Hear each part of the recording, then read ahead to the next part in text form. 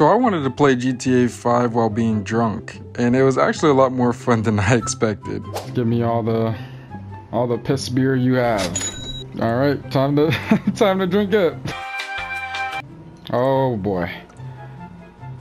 Yep, starting to feel it. Oh shit. Oh, hey. Yeah, you can hold that for me. you can hold that. oh snap. Oh snap. Oh shit, it's actually kind of hard to drive. Oh damn, get out of the road. What?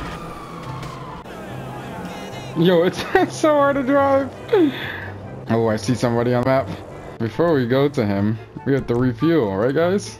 Oh, I'm coming. I'm coming. First of all, you're not gonna speed past that like you didn't just say what you just said. God damn, I'm tired of shit. Yeah, big ass hill. I see you. I don't think he's paying attention. There you go. Get over. Come here. Oh yeah, two can play. two can play this game. two can play that game. Oh snap.